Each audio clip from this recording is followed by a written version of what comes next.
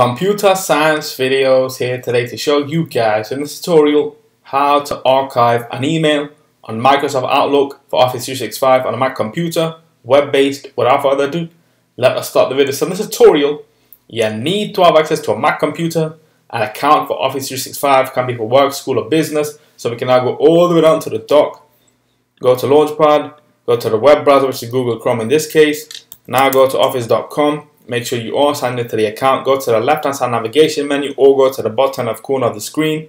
Click on all applications, navigate to Outlook. Let's just click on an email.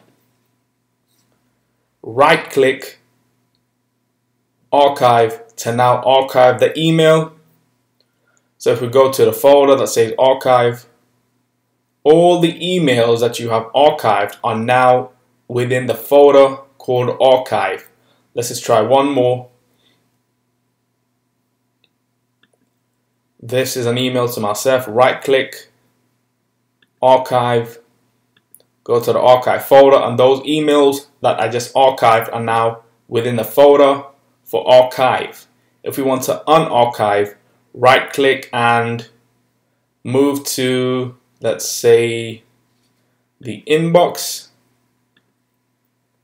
it has now gone back to the inbox. So we can now quit Google Chrome. That's it for this video. I'll see you guys in my next tutorial. Thanks for now.